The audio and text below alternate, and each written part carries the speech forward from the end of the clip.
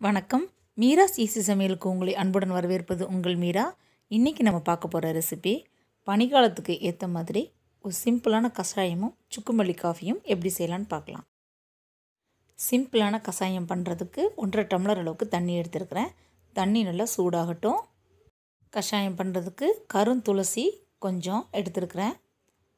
தூதுவளை இலை இது ஏழுலேருந்து ஒரு எட்டு இலை ஒரு சின்ன துண்டு இஞ்சி. முசுமுசு இலை ஒன்று. முசுமுசு இலை கிடைக்கலன்னா பரவாயில்ல நம்ம இதுக்கு பதிலாக வெத்தலை கூட சேர்த்து பண்ணலாம்.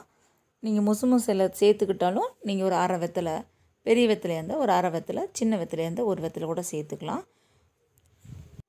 இந்த அளவுகள் எல்லாமே ஒரு டம்ளர் கஷாயம் பண்ணுறதுக்கு நம்ம எடுத்துருக்குறோம். நம்ம ஒன்றரை டம்ளர் தண்ணி வச்சுருக்குறோம். அது நமக்கு ஒரு டம்ளராக வர்ற வரைக்கும் நம்ம நல்லா கொதிக்க வைக்கலாம். இப்போ இதில் இருக்கிற பொருள் எல்லாமே நம்ம ஒன்று ஒன்றா உள்ளே சேர்த்துடலாம். இதோட ஒரு பத்து மிளகு சேர்த்துக்கலாம். ரெண்டு சிட்டிகை மஞ்சள் பொடி.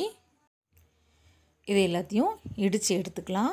நீங்கள் மிக்சியில் கூட போட்டு இங்கே கொஞ்சம் கரகரப்பாக அரைச்சி கூட எடுத்துக்கலாம். இதில் வெத்தலை இருந்தாலும் வெத்தலை பயன்படுத்திக்கலாம். என்கிட்ட வெத்தலை இல்லைங்கிறதுனால நான் சேர்த்துக்கல. நீங்கள் வெத்தலையும் ஒரு அரை வெத்தலை போட்டு கூட நம்ம செய்யலாம். இந்த மாதிரி இலைகள்லாம் கலந்து செய்கிறதுனால இதனோட சுவை வந்து வேறு மாதிரி இருக்குமோ அப்படின்னு நம்ம நினைக்க வேண்டாம். கண்டிப்பாக இது ரொம்ப நல்லாவே இருக்கும்.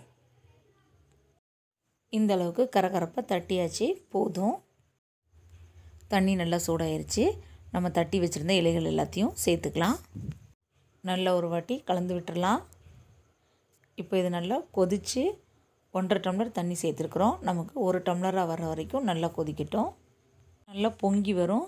அந்த டைமில் நமக்கு மேலே இருக்கிற இலைகள் எதுவும் கீழே போயிடக்கூடாது நல்லா இந்த மாதிரி நம்ம கலந்து விட்டுறலாம். இதோட ஒன்றரை ஸ்பூன் அளவுக்கு வெல்லம் சேர்த்துக்கலாம். உங்களுடைய இனிப்பு சுவைக்கு தகுந்த மாதிரி நீங்கள் நாட்டு சர்க்கரை அல்லது கருப்பட்டி வெல்லம் பனங்கற்கண்டு எதுனாலும் நீங்கள் சேர்த்துக்கோங்க. அவ்வளோதான் நல்லா கொதிச்சு ரெடி ஆயிடுச்சு இப்போ நம்ம இதை இறக்கிடலாம். அவ்வளோதான் சுட சுட பனிக்காலத்துக்கு ஏற்ற மாதிரி சூப்பரான ஒரு கஷாயம் ரெடி ஆயிடுச்சு இலைகளில் நமக்கு கிடைக்கல அப்படின்னா வீட்டில் இருக்கிற பொருள்களை வச்சு சிம்பிளாக ஒரு சுக்குமல்லி காஃபி நம்ம தயார் பண்ணிடலாம். இதுக்கு ஒன்றரை டம்ளர் நான் தண்ணி எடுத்துருக்கிறேன். தண்ணி நல்லா சூடாகட்டும். ஒரு டம்ளர் சுக்குமல்லி காஃபிக்கு ஒரு சின்ன துண்டு சுக்கு பத்து மிளகு ரெண்டு திப்பிடி எடுத்துருக்கிறேன்.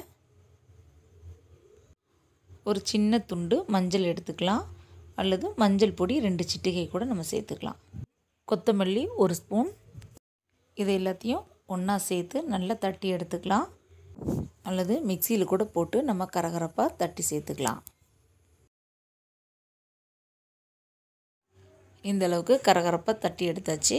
போதும். தண்ணி சூடாயிருச்சு. நம்ம தட்டி வச்சுருந்த பவுடர்லாம் உள்ளே சேர்த்துடலாம்.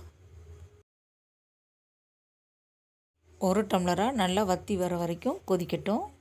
ரெண்டு ஸ்பூன் பனங்கற்கண்டு எடுத்துருக்கிறேன். உங்களுக்கு எவ்வளோ இனிப்பு தேவையோ அதுக்கு தகுந்த மாதிரி வெல்லம் அல்லது நாட்டு சர்க்கரையோ கருப்பட்டியோ சேர்த்துக்கோங்க.